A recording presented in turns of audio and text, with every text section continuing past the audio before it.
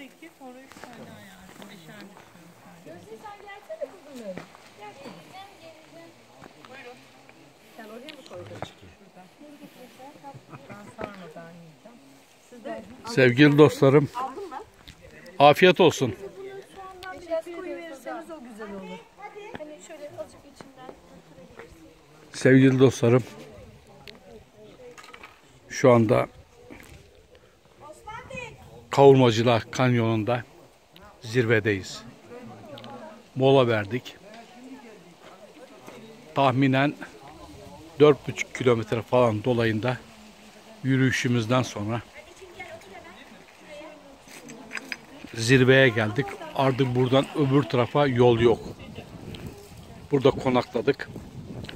Gördüğünüz gibi havalar kurak olduğu için yağmur yeterince yağmadığı için şelalede maalesef akmıyor.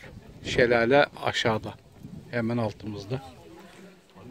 İnşallah biz buraya Mart ayında tekrar geliriz. Burası o zaman yağan yağmurlarla beraber sular bol şekilde akıyor. Şu anda arkadaşlarımız yemek molasındalar. Gel otur şuraya. Buradan kimse ayrılmak Yani şuraya geliyorsun anne şöyle geç. Çok mu yer kapladım abla? grubumuzun genç arkadaşlarımızdan Ahmet, Antepli Ahmet, mangalcımız bize kasap köftesi yapıyor. Bu işin uzmanıdır kendisi. Gel. Evet çayımız da yemekten sonra közde gördüğünüz gibi hazır oluyor. Etraf o kadar güzel ki dostlarım. Gümüşdere karşımızda şırıl şırıl akıyor. Artık Kaz Dağları'nın zirve yokuşları buraları, buraları. Evet. Ağaçlar hazan mevsimini yaşıyorlar. Biz bu kanyonu çok seviyoruz. Arkadaşlarımızla sık sık geliyoruz. Bugün 18 pardon 19 kişilik bir grup olarak geldik. Gayet de güzel bir hava var. Pırıl pırıl. Evet Ahmet kardeşimiz bu işi severek yapıyor. Evet arkadaşlarımız kimisi dürüm olarak köftelerini yiyorlar. Kimisi ise şehirli havasında hala pek elde yiyorlar. Hayır, Ben Bey yapıyorum size. evet bana da hazırlayın o zaman. Ben köylüyüm bana dürüm yapın. Size de yapalım mı? Evet. Yapamıyorum. Senin kaldı. Evet arkadaşlar sofranız maşallah çok zengin. Oo harika. Sana dürüm yapalım mı buradan? Afiyet olsun Bedriye Hanım. Tamam. Sevgili dostlarım. Gördüğünüz gibi etraf çok bakir. Kayalık.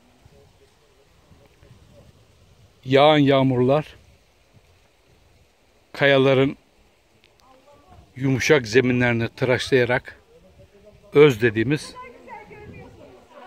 sert kısımlarını bırakmışlar ve otantik şekiller oluşturmuşlar. Biliyorsunuz akarsular taşırken molozları, çakılları, kumları aynı zamanda da doğayı tıraş ederler. Karşımda tam karşımda devasa çam ağaçlarını görüyorsunuz. Kızıl çam ağaçları. Harika. Çok güzel. Hava pırıl pırıl. Tam gezi havası. 21 derece. Şu anda çektiğim yerin tam altında şelalemiz var. Ama gördüğünüz gibi mevsim kurak olduğu için maalesef şelalemizde su yok. Ben de oraya inmiyorum. O şelalelerin adı İsmail Uçlu Şelalesi ve hatta Kavurmacılar Şelalesi olarak geçmektedir. Sevgili dostlarım, size bugünü tanıttım. Bugün 4 Kasım 2018 Pazar.